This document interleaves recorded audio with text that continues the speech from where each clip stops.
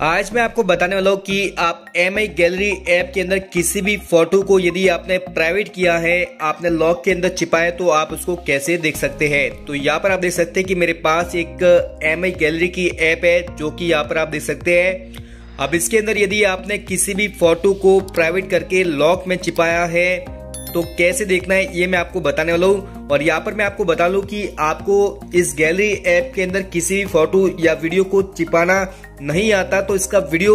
मेरे चैनल के अंदर है। आप वहाँ से वीडियो को देखकर आप सीख सकते हैं कि आप इस एम गैलरी ऐप के अंदर किसी भी फ़ोटो और वीडियो को लॉक के अंदर कैसे छिपा सकते हैं।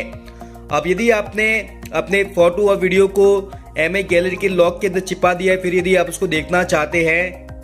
तो यहाँ पर सबसे पहले आपको इस ऐप को खोलना है और खोलने के बाद यहाँ पे ये जो एल्बम का ऑप्शन दिया हुआ है, आपको इस पर क्लिक करना है और इसके बाद यहाँ पे ऊपर ये जो थ्री डॉट दिखे दे रहे हैं, आपको इस पर क्लिक करना है। और जैसे ही आप इस पर क्लिक करते हैं तो यहाँ पर आपको सेटिंग का ऑप्शन मिल जाता है, आपको इस पर क्लिक करना है और इसके बाद यहाँ पर आपको ऑप्शन मिलता है, जहाँ पे लिखा है व्यू हिडन एल्बम तो आपको इस पर क्लिक करना है। और यहाँ पे आपने जो भी फ़ोटो या वीडियो को लॉक के अंदर प्राइवेट एल्बम के अंदर छिपाए हैं, वो यहाँ पर आपको मिल जाते हैं, जो कि यहाँ पर आप देख सकते हैं। तो इस प्रकार से आप किसी भी